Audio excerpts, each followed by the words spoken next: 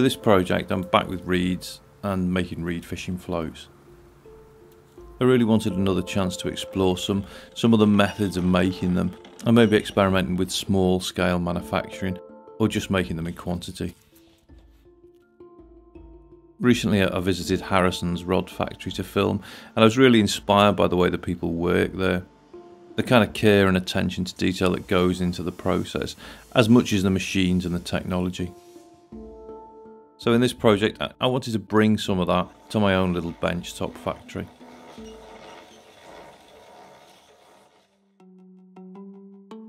For the reeds, I'm using a mix of lengths and also diameters. This will allow me to join pieces together and step down from the thicker bodies to the solid ends which I've made from bamboo skewers. As a quick temporary adhesive, I'm using some super glue, but also backing it up with some 5 minute epoxy. I can use this to smooth and fill out joints, and also later to secure the line eyes that I've made from wire. For paints, I'm using a mix of low odour acrylics, some bought from craft shops and others just the ordinary household variety. As a protective top coat, I'm also using a clear acrylic lacquer that's been recommended by another English float maker, George Lockhart.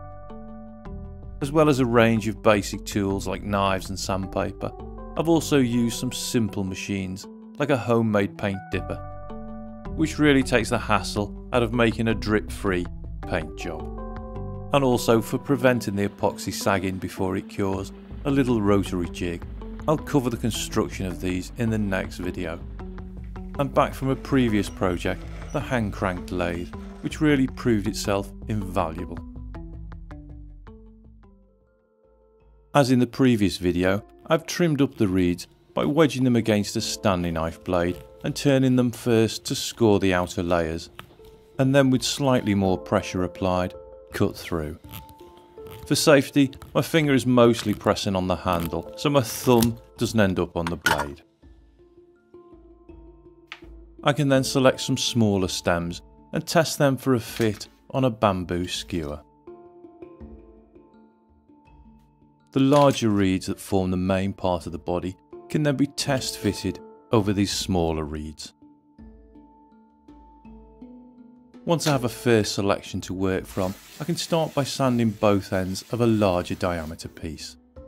As well as tidying up the fibres, this should also square up the ends.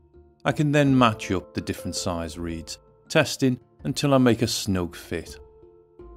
And with a drop of superglue applied, they can be spun into place until they're held firm. Back with the Stanley knife, I can trim up the smaller reed, leaving a couple of millimetres proud, and then square up again with the sandpaper. For the other end, I can simply repeat the process. If I can't quite get a fit for the larger reed, I can use the reamer from the last project. This was made by wrapping some coarse sandpaper around a children's paintbrush handle and gluing it into place.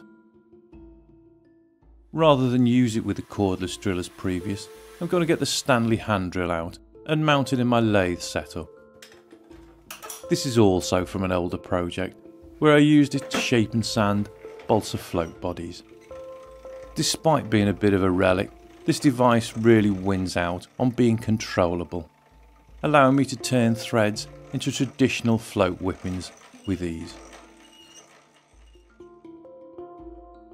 I can start out by mounting the reamer in the chuck and use it to open up the reed slightly until the reducing piece fits snugly and I can glue cut and add it to the batch. Mounting the bodies back in the chuck, I can take some medium sandpaper and cut back the natural glossy coating on the reeds. This should give the lacquer a chance of properly bonding to the surface when it's coated later. To make the line tying end of the float, first I can select a bamboo skewer and mount it through the tailstock into the chuck. Using the longer blade of a craft knife and turning while I press down makes for a clean cut. With a small nail I can then roughly prick out the centre point. And with a 1mm bit mounted in a pin vise, I can drill to a depth of about 8 to 10mm. Swapping to a larger 1.5mm bit, I can open it up a little. Later, this hole will be filled with a wire line tie. To set a uniform length to each piece, I'm using an offcut of wood as a measure. To shape the tip, a few turns with a pencil sharpener should leave a small chamfer.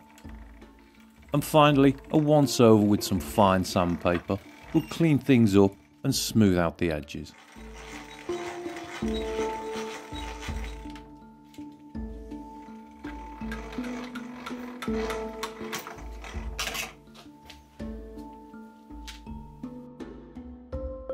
To fit it to the reed, I can push it into place and use the edge of a block to set the depth, before adding some superglue. For the tops, I'm going for a similar pattern, but using a slightly wider block to give me a bit more length. Again with a pencil sharpener, I can make a chamfer, but this time not as large. Once the sanding is complete, I can cut the piece through.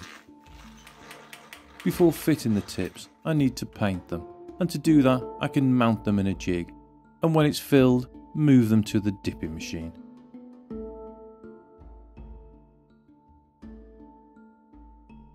The machine is fairly basic. The tips are lowered by a slow turning disco ball motor down a draw slider for a guide. But painting with the machine has a few advantages. The controlled entry into the paint gives an even bubble free coat. And when the tips are retrieved, because they're moving so slowly, any excess paint is pulled off, reducing the chances of any drips in the coat.